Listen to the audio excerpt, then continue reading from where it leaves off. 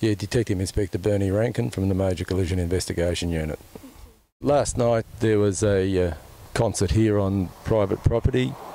A large number of people attended, and uh, most of them uh, camped for the night. And uh, this morning, a 35 year old woman was found deceased in a tent uh, at the scene.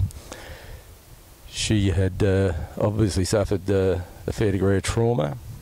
The ambulance were called uh, shortly after nine o'clock and arrived here. There was a nurse attempting CPR on the uh, on the deceased woman.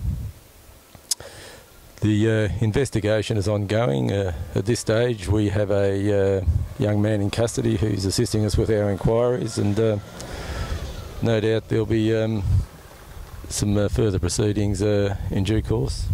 He's a young man um, who is uh, known in the area. Yes, ambulance attended, SES attended, and of course the local police attended, and uh, the Major Collision Investigation Unit will be managing the investigation.